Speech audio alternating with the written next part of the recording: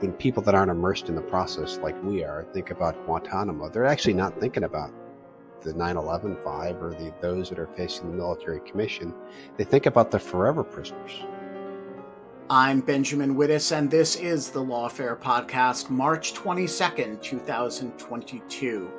General John Baker served until December as the Chief Defense Counsel at the military commissions.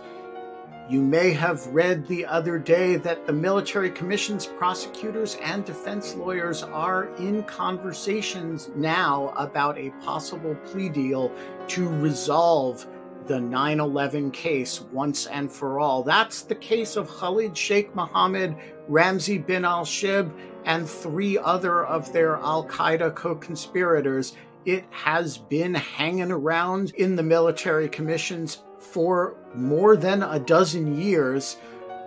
And until the other day, it showed no sign of coming to a close. Trial is still a ways off. Appeals will take years more than that.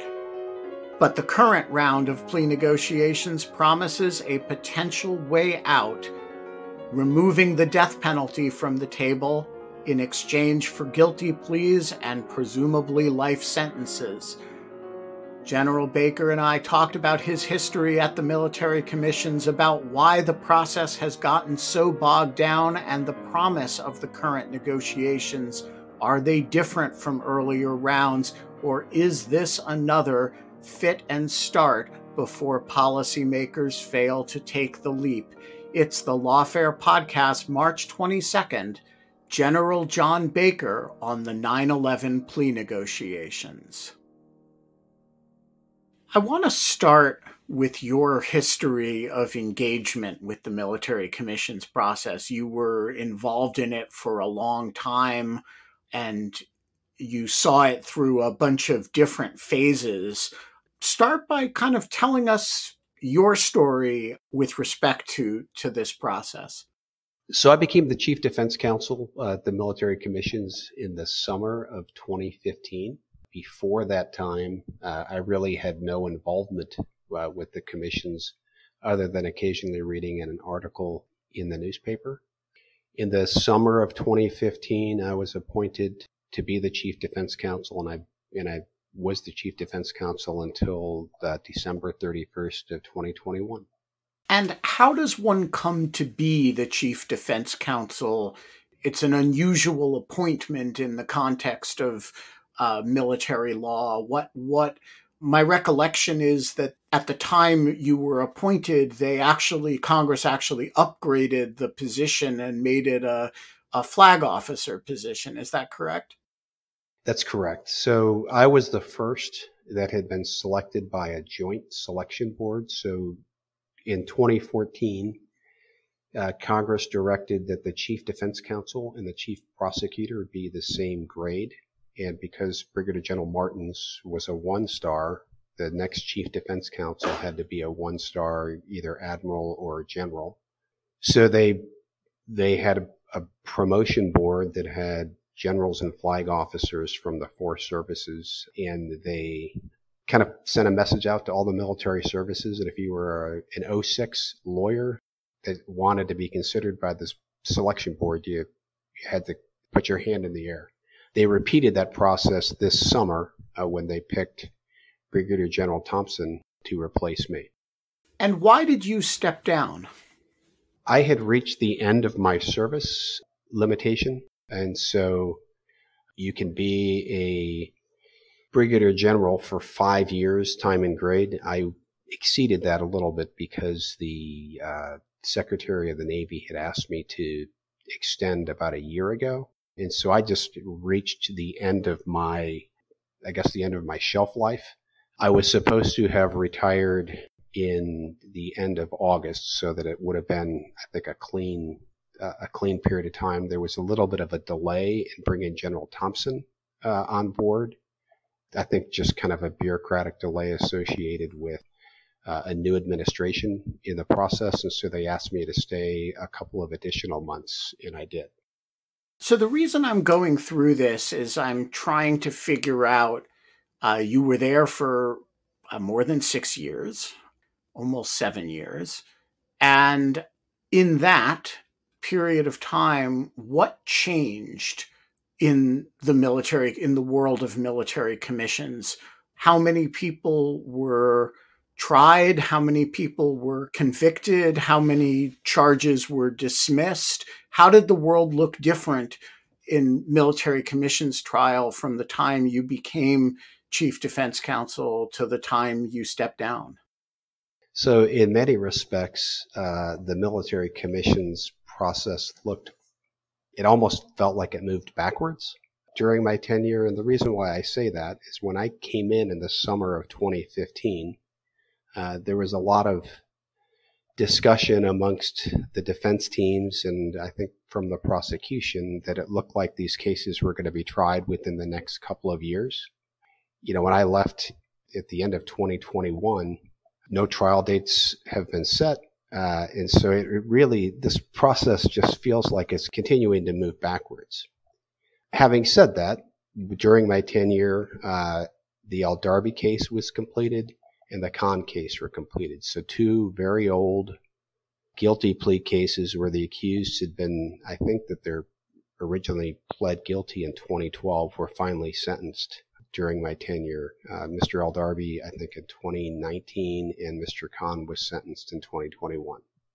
So the reason we asked you on to come on the Lawfare podcast was that there is once again some stories suggesting that the 9 11 case, that is the case of Khalid Sheikh Mohammed and his four co conspirators, may be in or is in plea negotiations and may be heading uh, towards some kind of a plea deal. So, again, this has a time passes and nothing changes quality. Tell us about the last time there was a significant set of plea negotiations uh, surrounding this case. So, in and I hate to say this, but the years in some respects all run together. I think it was in 2018. There were active, ongoing plea negotiations in the 9 11 case when Harvey Rishikoff was the convening authority. And shortly after uh, Harvey Rishikoff began plea negotiations, he was removed as the convening authority the defense's perspective is that he was removed because he was engaged in plea negotiations. Um, the government's position, and they had a hearing on this issue, is that uh, Harvey Rishikoff was removed because he violated some bureaucratic rules within the Pentagon. I, I, I will tell you that I'm not in a contact with the defense teams on like what specifically they're talking about, but this time it does feel different and how does it feel different? What's uh, what are the aspects of the current set of negotiations that feel of a different quality to you? One is political. This fall, we had a, a hearing at the Senate Judiciary Committee. Uh, I testified, some other people testified from the conservative witnesses to the liberal witnesses to the nonpartisan witnesses like myself, there is almost consensus that the way to end the commissions, uh, just like there's the way to end most criminal cases, is through plea negotiations. So politically, it certainly feels different. What also seems different, and I just know this because it's been reported, so you know, assuming assuming Carol Rosenberg is correct, that the prosecution is engaged in these plea negotiations in the past, the feeling was that the prosecution wasn't interested in settling the 9-11 case. And I don't have anything concrete that says that. That was just the feeling that we had. All right. So I'm, I want to dig into that. Let's talk about that hearing first. I look at this as somebody who uh, was initially open to the idea of military commissions. And I say there is no way these cases are coming to trial in the next few years. We're a minimum of several years off, and that's with in a kind of best case scenario. It's already been 20 years since the event and uh, since the crime, and and uh, a more than a dozen years since the bringing of the of the case in the military commissions. The whole thing has become an embarrassment. And by the way, after the Majid Khan case, the government has no basis for confidence that it could get a death penalty verdict even when it does go to trial. So, why isn't the case for a settlement, a plea that takes the death penalty off the table, a no brainer at this point? You're in some respects you're asking the wrong person that question. Uh, I have been advocating settling these cases really since since I came to the commissions, and I, I mean my testimony. This kind of culminated in my testimony in front of the Senate Judiciary hearing that the only way out is to settle these cases. And you know, you you talk about the trials being several years away if these are death penalty cases, the most important part of the process, or certainly a very important part of the process, would then be the subsequent appeals. And so we may be a couple of years away from the trial, but you know the the appeals are going to go on would then go on forever. I can't think of a reason why you wouldn't want to settle these cases. So that has been true for a long time and yet the cases have not settled. Whether Harvey Rishikoff was removed because he was in settlement talks or whether he was removed for other reasons, it is a fact that he was removed and the settlement negotiations stopped after he was removed. Given what you say that it's the only way out and I agree it's the only way out and it's even if even if you could imagine getting a conviction at trial, it's still years off and then years for a for appeals. Uh, as you say, what has been the holdup that prevents resolution, or has that varied at different times? I mean, I can only speak to, I mean, with like specific knowledge uh, during the during the tenure that I was the chief defense counsel. I mean, I do know that the that the defense teams have been interested in settling these cases really from almost from the beginning. But the, the big impediment has been the insistence on these being death penalty cases. And this seems to be the first time the you know, media reports are now the prosecution is involved you know in the settlement negotiations. And just to be clear, the difference between that and a settlement negotiation with the convening authority is what? So you you ask a good question because really the the party that's supposed to settle the case is the convening authority. The convening authority is the person that reaches that reaches an agreement in the military justice or the commission's system with the defendant. But the last time the convening authority did that, uh, he was removed from office. This is one of those kind of intangible things. It's hard to explain, but the fact that the current acting chief prosecutor has said that he's interested in negotiating really it it changes the tenor. I know that the following the Rishikoff removal, the teams were very hesitant to want to begin negotiating again with the new convening authority unless they felt like people with power were actually going to engage in good faith negotiations. And that seems to be what's happening now. All right. So let's talk about what a plausible basis for settlement is. You mentioned that the impediment is, you know, is the insistence on these being capital cases. I assume that the moment the prosecution were to say, okay, we could settle this on the basis of these being non capital cases, there is immediate political blowback to that, right?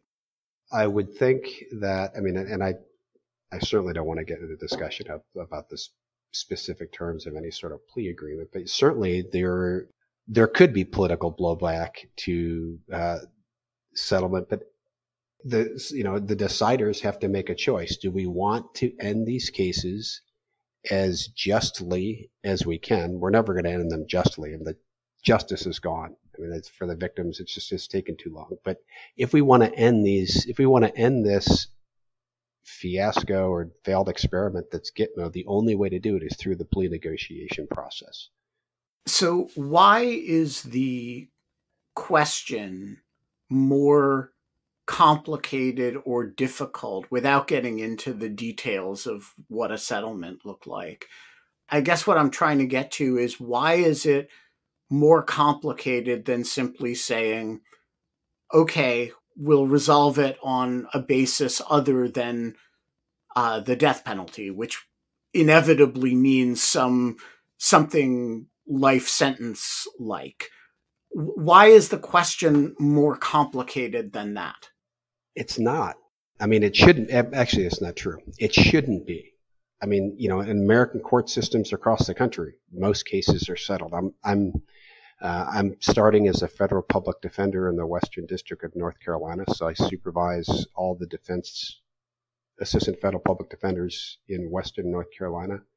95% of our cases settle. The commissions should be just like that. I mean, settlements in particularly capital cases happen all the time.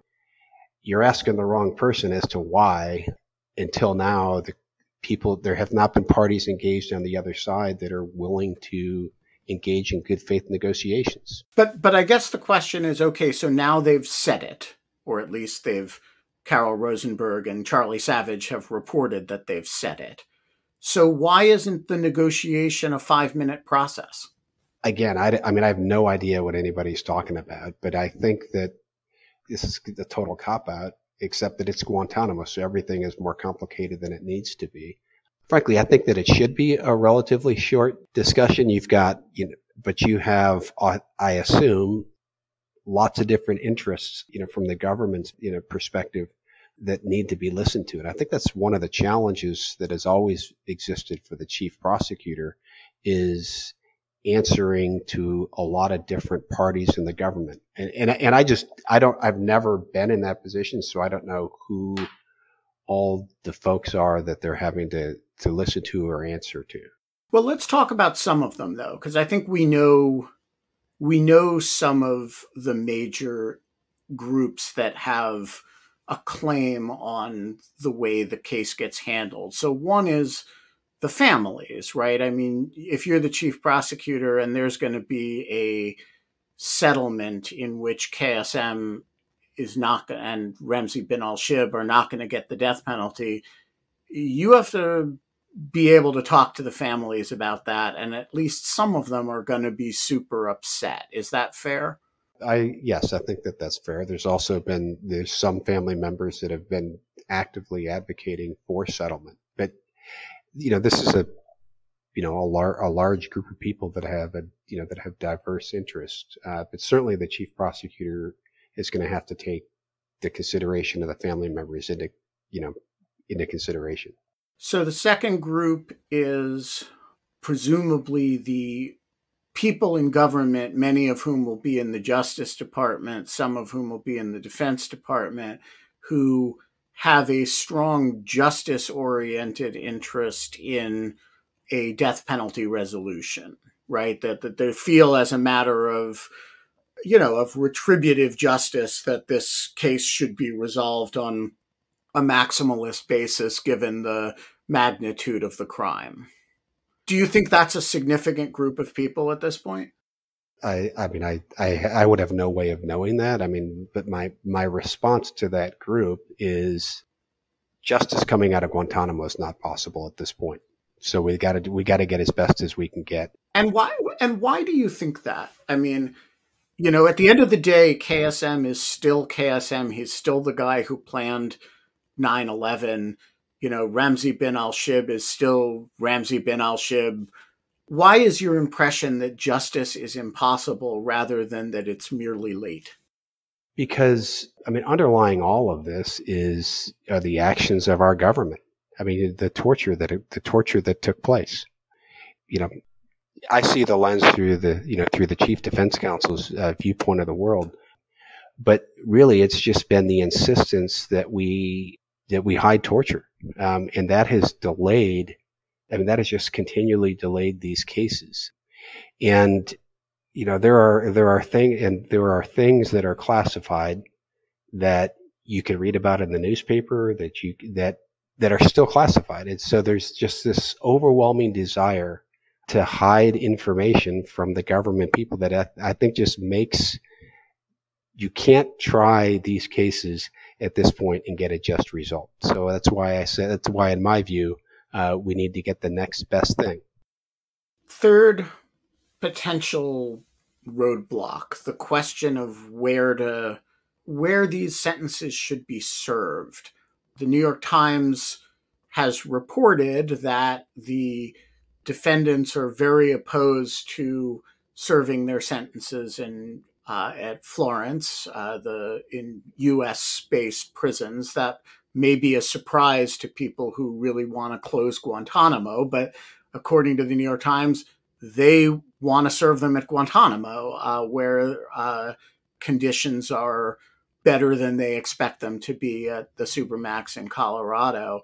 Uh, on the other hand, if you're the Biden administration and you have a policy objective of closing Guantanamo, well, that operates at somewhat cross purposes. And if you're the the military that either wants to get out of the detention business or wants to retain a foothold in it, I, I imagine there are people who have strong both in the Justice Department and in the Defense Department, both Bureau of Prisons and DoD equities in the in that question. Is do, do you think that's a rounding error kind of question, or is that a real factor here? I mean, where these sentences would be served at the end of the day is a is a policy question that I'm probably not the best person to ask you know, to give you a, a great answer on that part of the, the, assuming that's part of the plea negotiations, I'm not certain that it would or wouldn't be. It seems to me that one of the big factors that led to this is the litigation of the Majid Khan case and the government's inability to persuade a jury basically not to think about not to to dwell on the circumstances of Khan's interrogation and detention by the CIA in the same program that these guys were held in. How big a deal do you think the Majid Khan case is to the prosecution at this point? And I think that the Khan case is a is a tremendous deal to anybody that's paying attention to Guantanamo. I mean, you brought in, I think it was eight at the end of the day, eight members with no connection to the commissions and looked at what our government did and were disgusted. And you know, you you you discussed it about an, you know the government's inability to persuade a, a jury. I'm not sure that the, the government's position or the government's job would be to would get them to not pay attention because they should pay attention to it. But the Khan case, I think, is a was a was a game changer uh, as far as providing really a view of people that weren't kind of immersed in the process really showed what impact the government's action in torturing these men has had and will continue to have on these cases. So, talk to me about the December hearing in the Senate Judiciary Committee. It seemed to me this was a basically across the political spectrum there was pretty wide agreement that this was the time to you know that we had exhausted all other options with respect to trying these people and this was the moment to do it is there were you surprised by the degree of consensus at that yes and no yes just because it seems like there's never consensus these days but no in you know, I've talked to a lot of people kind of across the political spectrum during my, you know, my tenure at, as the chief defense counsel. So was I surprised when Cully Stimson came in and said that he thinks that plea negotiations is the way to end the case? No, because I don't know anybody that has looked at the commissions and says we need to continue doing it this way. You know, the the the hearing, you know, unfortunately broke down a little bit on it seemed like to break down a little bit down on partisan lines where you had the Democrats who wanted to talk about the commissions uh, and the Republicans that wanted to, to not talk about settling the cases.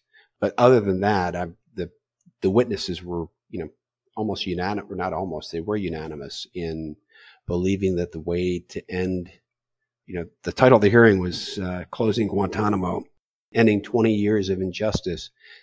Everybody agreed the way to end the injustice uh, would be to settle the cases.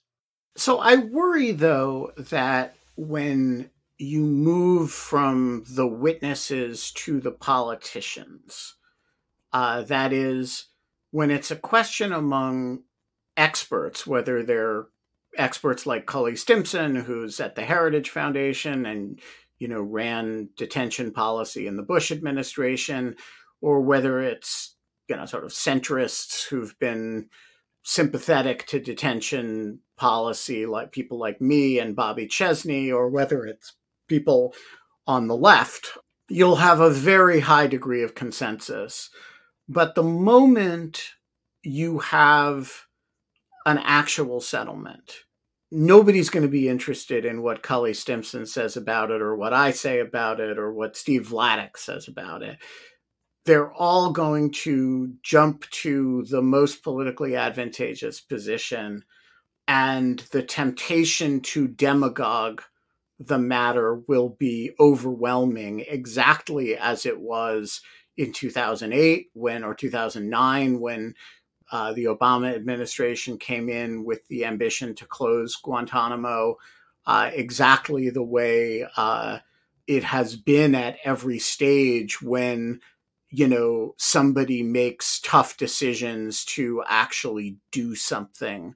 Uh, and I'm wondering if you think there's any way to mitigate that other than, you know, to uh, uh, other than to just bite the bullet and take the political, pardon me, shitstorm that's going to happen when, you know, we put butter on this particular bread.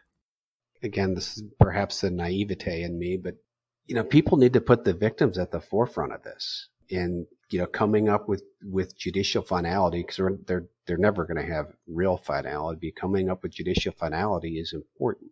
And you know, I would also encourage people to stop treating these cases differently than, you know, we have all kinds of complicated criminal cases in this, this country and they just, we just let the system work. But, but, you know, the realist in me says that you're right. Once, you know, if, if plea negotiations are reached, somebody is going to try to, you know, grab the microphone and, and make political points out of that. And that's again, I would encourage them to think about you know, think about the victims uh, and and maybe think about the rule of law and just let this process uh, wind itself down. Imagine that there were a plea deal tomorrow, and we had the firestorm, and it took a week, and a week later, there are five more resolved cases among the Guantanamo population, and that would, I guess, bring us down to 33 unresolved cases. Where would that leave us in the in the world of the Guantanamo problem, both the the portion of it that can be resolved through criminal trial and the portion of it that can't? I mean, certainly, I think that the 9/11 cases, in you know maybe to a little bit of a lesser extent than the Nashiri case, have been the the central focus point on the criminal trials. But that's still, we still have, you know, they still would need a resolution for the, for the remaining, you know, the, the remaining detainees. But I, I think that settling the 9-11 case would take a, would be a tremendously important step forward in figuring out what we are going to do with Guantanamo and the people that are held there. And what do you think? I mean, there's this group of people at Guantanamo uh, I'm thinking of Abu Zubaydah. I'm thinking of Hambali. I mean, they transferred Qahtani, which I, I thought I would have put him in this category, who are, you know, at, at this point, extremely difficult to try in any forum, maybe impossible. And also, it's very hard to imagine circumstances in which you could transfer them without massive political consequences. And so I'm I'm like let's say we remove from the problem basket, the 9/11 case, as you describe, that I agree, that's a huge breakthrough in terms of uh, resolving the fate of the of the larger Guantanamo enterprise. But there still are these these really difficult problem cases that you know are just going to are, are going to require some additional breakthrough in order to to deal with do you have an impression of how the administration is thinking about them or how it should be thinking about them? Well, I certainly have no idea of how they are actually thinking about them. So that, that just leaves, you know, how do I think that they should be thinking about them? In my view, they should be thinking we can't hold people uh, without due process. When people that aren't immersed in the process like we are think about Guantanamo, they're actually not thinking about the 9/11 five or the those that are facing the military commission, they think about the forever prisoners. And so, you know, my advice to the Biden administration or any administration to follow is that we have to stop holding people forever. Do I have a solution? Uh, no. I just I know that it is a problem to continue to hold people without due process and without any way of, of having an end game in sight. How big a portion of the problem. I mean, one way to think about the 9 11 case is that it's, you know, five detainees out of 38, and there's 38, you need 38 resolutions, and this would be five of them, and that's great, but, well, 33 more to go. Another way to think about it is that this case is really the pig and the python, and that once you've bit the bullet and done this, actually it becomes a lot easier to do the others because however big the compromise is that you have to make in order to get rid of the cases it's not KSM right? He's the one who's a household name. He's the mastermind of 9/11 uh, and you know once the pig passes through the python it's there's you can get a lot of stuff done i'm curious which which school I, am attracted to the second option, but I, I, I worry that you know the day after we have a settlement in this case, you know it'll it'll be a little bit of meet the new boss, same as the old boss. You know, which of these schools do you subscribe to, or or to something else? I subscribe to the school of thought that not many people, other than you know, a few of us involved in national security, even know what is going on at Guantanamo when you know Qahtani left, there was really not even a blip. And so, yes, I think settling the 9/11 cases uh, is an important step forward. Uh, but I think that the, um, I think they just need to bite the bullet, take whatever political cost there is, and figure a way out. And to the extent that there's a political cost, you know, that bill has just come due. I'm curious about your own emotional reaction to Qahtani's transfer because I I kind of had two and I want to be candid about them. One of them was hey, that was a hard one and we finally got it done and that's a good thing. And the other one was a real sense of deprived justice that the, the here's a guy who flew to the United States, who's on his way literally to cross customs and meet Muhammad Atta, who's, I mean, there have been a lot of people who've been said to be the 20th hijacker. He's probably actually is, um, or at least one of them.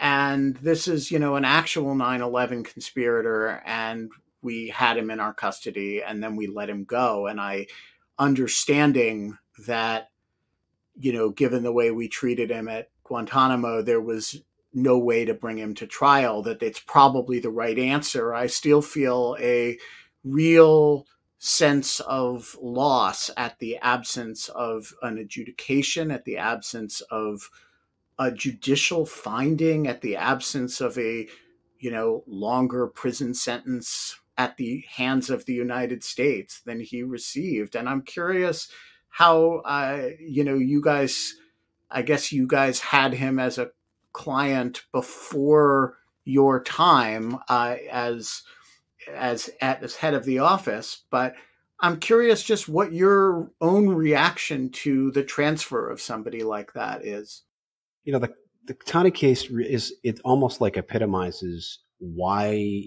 we can't ever do what we did. I mean, we broke the actions of the United States government made it so that we could never get justice for him or for the, or for the victims.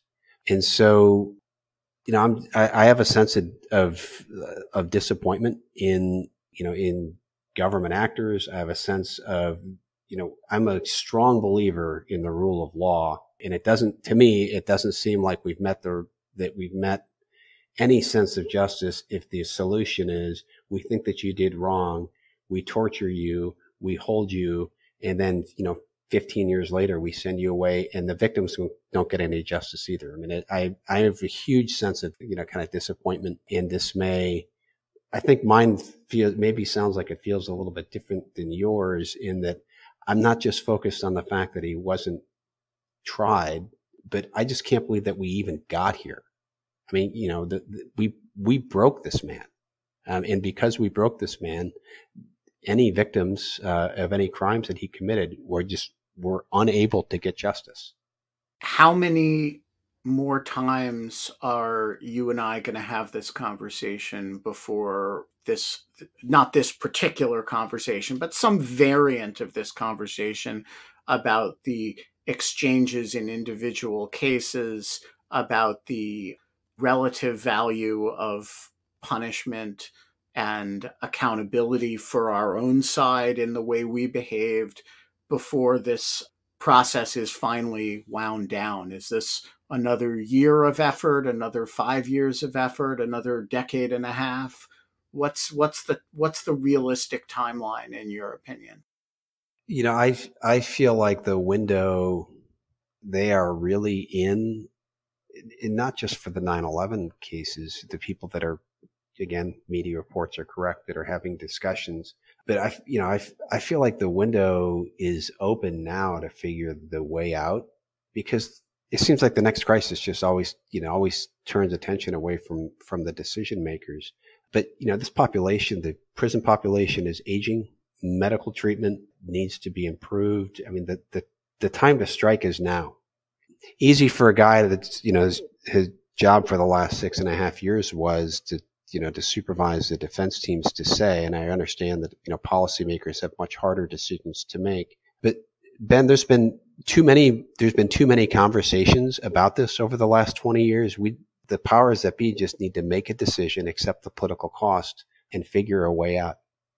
We're going to leave it there. General John Baker, thank you so much for joining us and thank you for your service in both in in the role that you left in december and uh, throughout the rest of your career including as a federal public defender in north carolina now yeah, well thank you for i really appreciate the invitation and uh, I, i'm a huge fan of lawfare so keep doing what you're doing The Lawfare podcast is produced in cooperation with the Brookings Institution. Our audio engineer this episode is the incomparable Hamza Shittu of Goat Rodeo. Hey folks, I know there are some of you who are still not material supporters of Lawfare, and I just want to say that unlike being a material supporter of a designated foreign terrorist organization, it is not a crime to material support lawfare. In fact, it is a virtue. So go to our Patreon page and become a material supporter. It's patreon.com slash lawfare. The Lawfare podcast is edited by Jen Patja Howell. Our music is performed by Sophia Yan. And as always, thanks for listening.